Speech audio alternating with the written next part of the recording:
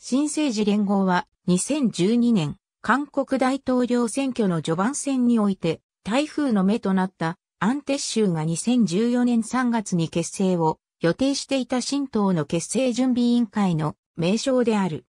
2013年11月28日、アンテッシュは新党準備組織として国民と共にする新政治推進委員会を発足させた。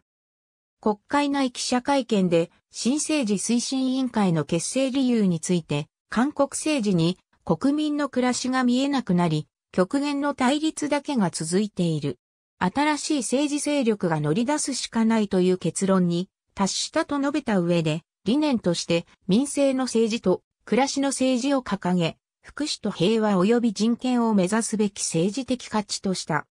12月9日には共同委員長4名を選出し、新政治推進委員会の本格的な活動を開始。新政治推進委員会結成に先立つ11月10日には、新党の地方組織整備に携わる政策ネットワーク、明日の全国実行委員466名も発表され、すでに任命された全羅道地域の実行委員68名も含め、総勢534名が任命された。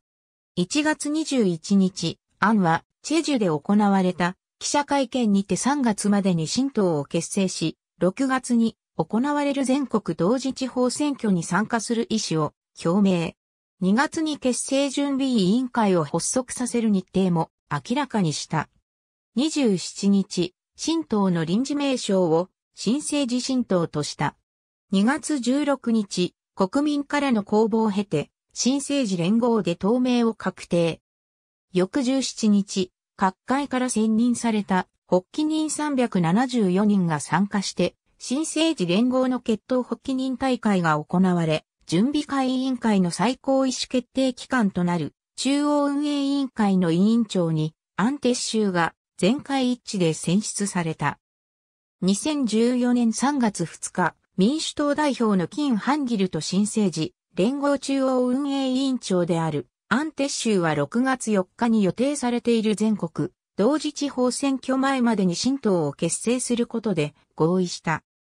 新党結成方法について当初新政治連合が正式決闘されていないこと、民主党への吸収合併とのイメージを避けたい。安陣営に配慮し、民主党と新政治連合の関係者が共同で参加する決闘準備団が結成した新党に民主党と新政治連合が合流する方法を想定していた。しかし、民主党が解散後に新党に入党することを求めた新政治連合に対し、民主党は比例議席の承継や国庫補助金及び党財産の整理問題から難色を示し、党対党の合同を主張、隔たりがあった。5日、新政治連合と民主党一部議員が新党を結成した後で、残りの民主党議員が新党に合流することで双方が合意。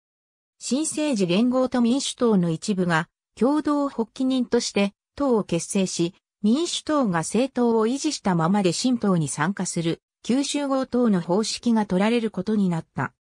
3月16日、民主党との統合新党である新政治民主連合の決闘発起人大会が開かれ、中央運営委員長であるアンテッシュが民主党代表の金ハンギルと共に総統準備委員会の委員長に選出された。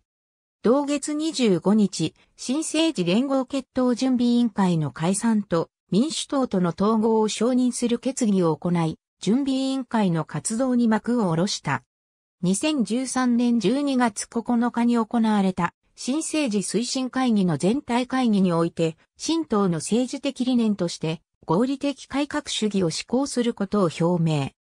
14年2月17日の決闘発起人大会において採択された決闘発起趣旨文では、国による民主的規制と調整を通じた民主的市民経済の追求、普遍と選択を戦略的に組み合わせた低負担低福祉社会から中負担高福祉社会への転換を強調。